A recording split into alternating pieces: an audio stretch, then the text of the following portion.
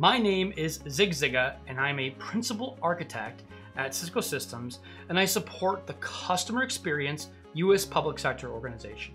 So, in my role as a principal architect, I have the leeway, the space to focus my time and effort on what I see as the biggest impact for our customers, and because of that, in turn, our business. What do I value about my team's culture?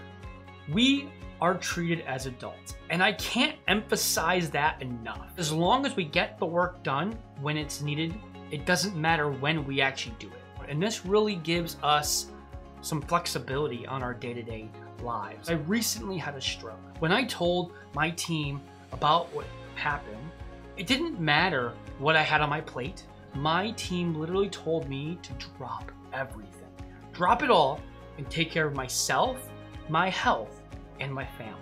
This team's culture is truly amazing. We care about the mission our customers have. That's that's paramount. That's primary. The opportunities are endless. Being a Cisco Live speaker is such a good opportunity to highlight. Being an expert at a technology, being able to drive a, a session together, putting the content together, and then being able to speak in front of 50, 100, 200, 300, 500 people at Cisco Live. That is truly a great opportunity. Cisco gives me the space to be a thought leader. We are Cisco.